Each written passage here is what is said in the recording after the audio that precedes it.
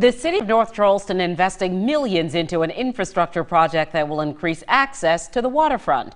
News 2's Katie Augustine visited this site for the Noisette Creek Bridge and learned this is just one step toward creating more green space for people and visitors to North Charleston.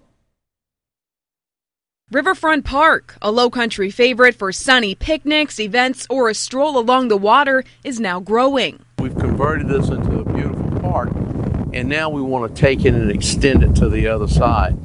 Right now, the land across the creek is just green space, but Mayor Summey has an idea to develop it. We're looking to do other things, maybe try to create a little outdoor concert area for smaller events. The Noisette Creek pedestrian bridge will allow people to access the other side of the creek. Mayor Summey says it will add convenience. We get a number of major events out here, like this past weekend without the rain would have been a major event on this side.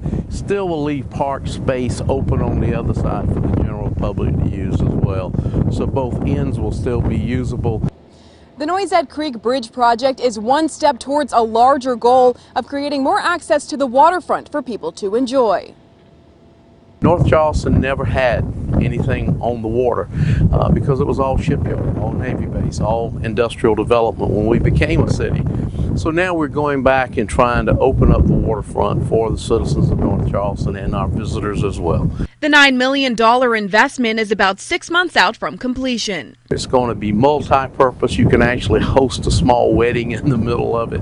Uh, it's going to be that big and an engagement. Uh, it's going to be architecturally something beautiful. In North Charleston, I'm Katie Augustine. Count on two.